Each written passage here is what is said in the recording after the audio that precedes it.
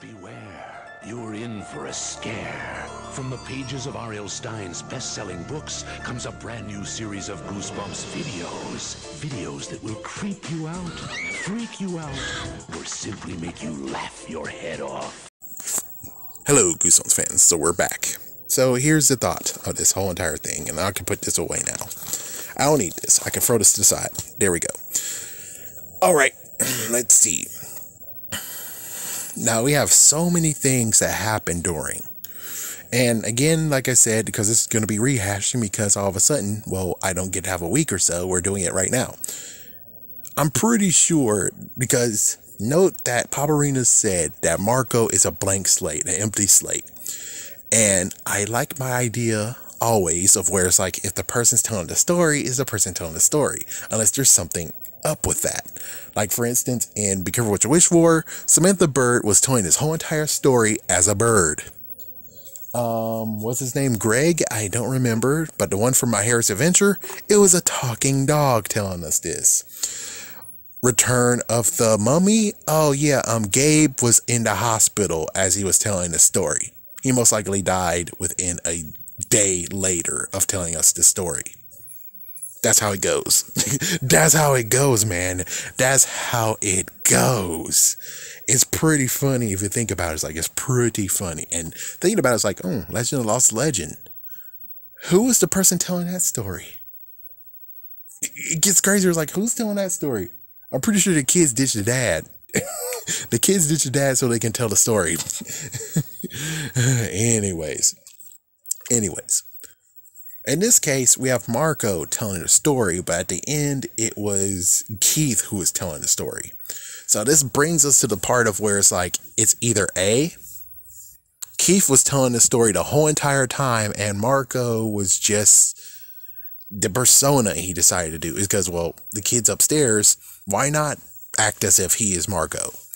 And then, you know, yeah, but it doesn't make sense. But on the other hand, it's like, yeah, but well, let's just say that since he actually is a monster, I don't think we never actually had a monster talking and telling us a story, right?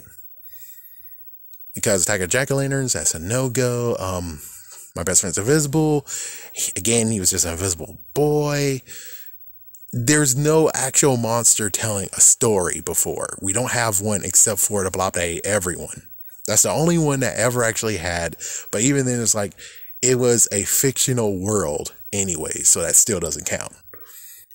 So yeah, the monsters never actually have a story where they're telling the story. So that means that we have to go with the idea of he just used Marco as a mouthpiece.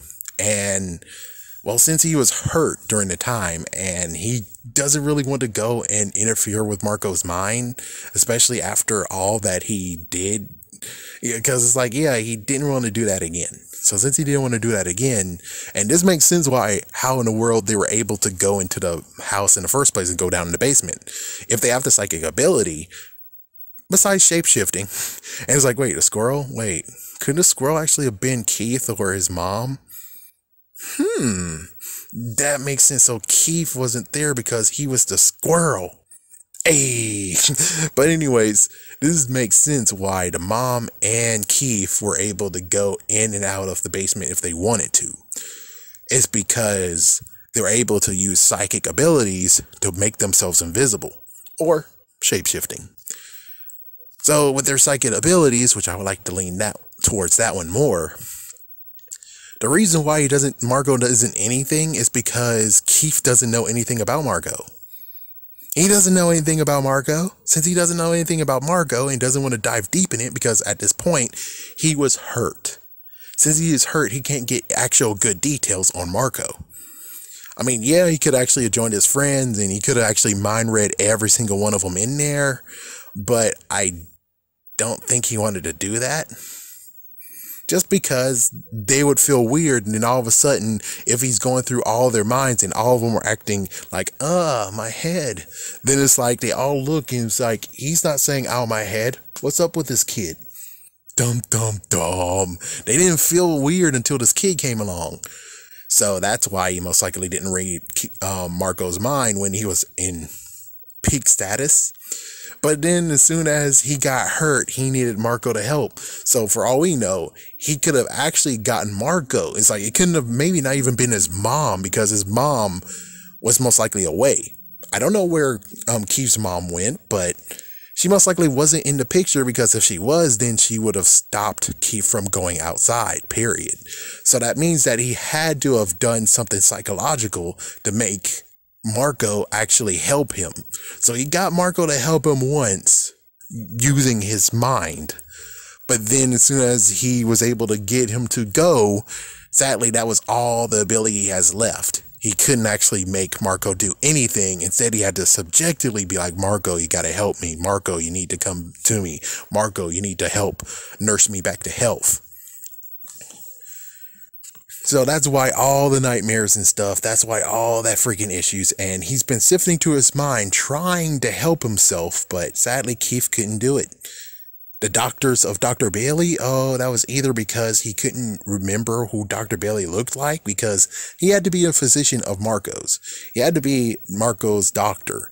It could be even a fact of where he's trying to sift through doctors, and all those doctors is either doctors that he's seen on TV or doctors he had during his life a doctor when he was a little baby, a doctor when he was a little kid, and a doctor what he has now. But due to not knowing how to really navigate, and especially he's hurt, he can't tell which doctor ba- which doctor is Dr. Bailey. He only knows the word name Dr. Bailey, so that's why that was one issue. Let's see anything else.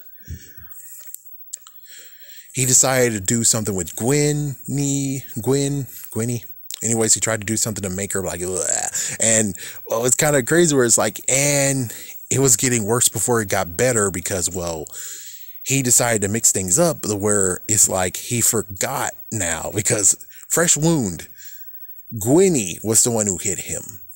It's either, it's like, it's most likely that because we don't see Marco and Gwenny at the end of the book. So I have to think that it's Marco only. He's a single child. So, or it's the fact of where Gwenny is his younger sister and he wanted to have Marco at least, you know, same footing as each other. That they're both single, that they both actually are just only childs and they both have just one mother. I don't know for sure, man. I don't know for sure. It's it's kind of hard to figure that part out. So, with that with that idea, then that means that I'm pretty sure the first narrative is that Gwenny hit Keith. Keith went down. Marco helped. Marco helped him take him back home. And of course, he had to do a special, you know, yeah, that's what he had to do. yeah, I think Jeremy didn't help. It's like, yeah, Jeremy didn't help this time at all. Yeah, it seems that Jeremy might have helped too, but I don't know for sure. And let's see. Yeah, so he actually mixed it up to where Gwenny hit him to Jeremy hit him. So we don't know which one actually hit. Could have been Jenny, could have been Jeremy. We don't know for sure. We don't know which reality is real, but considering Jenny was nowhere to be found at the end of the book, might have to say the first one happened where Jenny was the one who hit him. But because of that concussion that Keith suffered, he couldn't keep his facts straight to point of where it's like, yeah, it's very, very hard for him to keep the illusion if he's hurt, if he's actually hurt. So that's what's going on is that I'm pretty sure he has psychic abilities and maybe even shape shifting. Like he might have like a little bit of shape shifting or a lot of shape shifting. Could be the fact of where he actually shape shifting, he was the dog. yeah, we don't really know what reality is what, but I'm pretty sure that all this was just Keith using his psychic abilities to get Marco to help him. But as soon as his mom returned and his mom's able to nurse him back to health, he doesn't need Marco anymore. And at this point, he tried to use his psychic abilities now to say, You're dreaming. Go away. You're asleep. This is not real. And it's like, yep, he's using his psychic abilities and it most likely worked. It's like, there's no way that actually is like, it's not happened. It didn't work. I'm pretty sure he has psychic abilities and he was able to get Marco to leave. It's like, how else did his mom leave? It's like his mom left, and it's like, well, if they are humans, but then secretly sludge monsters, or I don't know, I guess sludge monsters, whatever, or intestinal monsters, or whatever. The thing is that how do they leave the house? What do they eat? How do they eat? Well, at least what do they eat is the real question. They have to actually go out and get food and the mom most likely goes out and get food. Yes, they could go upstairs and steal food from them, which that does make sense. The other hand, maybe the mom actually has something else that she needed to do, and that's why she wasn't there. So it's like, I don't know for sure. But the whole thing of help me, you need to help me. I live in your basement, you need to help me, makes me think that the mom was nowhere to be found until he got healed, until he actually got nursed back to health. Well, kind of. And could we say that maybe Marco did heal him up? And then he was able to wipe Marco's memory of him. And then Marco just went around his way and he thought that Marco's not going to show up again in the basement because why would he? And then all of a sudden, there we are. The weird part is like, where's the pool table? It's like, hmm, that's a good question. Maybe the pool table does exist still down there. I don't know it's kind of weird that it's like, okay, well, if he does have shapeshifting abilities, why didn't he just shapeshift to something else? He's like, yeah, why doesn't he just shapeshift to like a squirrel or something, a squirrel again, and just scurry away? So he's like, what? but of course, I'll make him go back down in the basement. So I don't know. it's like, I think that was better that he just used his psychic abilities, and it makes more sense that way. So that's my thoughts on I live in your basement. I think I finally got a gist of it. But on the other hand, I could be dead wrong. But right now, this is my stance is that Keith has psychic abilities and he's a shapeshifter. He might be truly a shapeshifter where he can shapeshift to anything, or he has psychic abilities which makes him able to go into people's dreams and make them do what they say or try to. But considering he got hurt too much, he couldn't actually make Marco do anything. Instead, he had to try to give him some pushing to do it. Give him a little bit pushing. And actually just showed him how much pain he was in too. But I doubt that. I'm pretty sure since he's not that powerful of a telepath, a psychic, he's doing it, but the pain also can be felt too as he's trying to get him to help him. Anyways, have a scary day, have a scary night.